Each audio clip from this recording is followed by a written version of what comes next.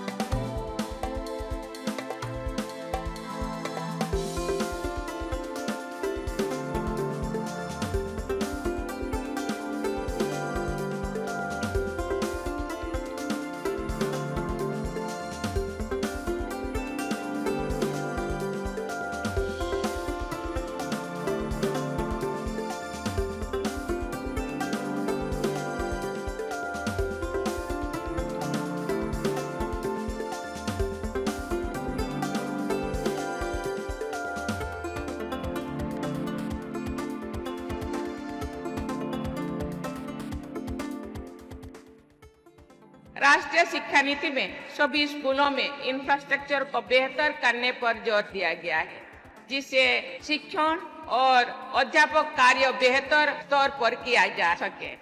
अच्छा इंफ्रास्ट्रक्चर होने से समावेशी और प्रभावी शिक्षा में सहायता मिलती है।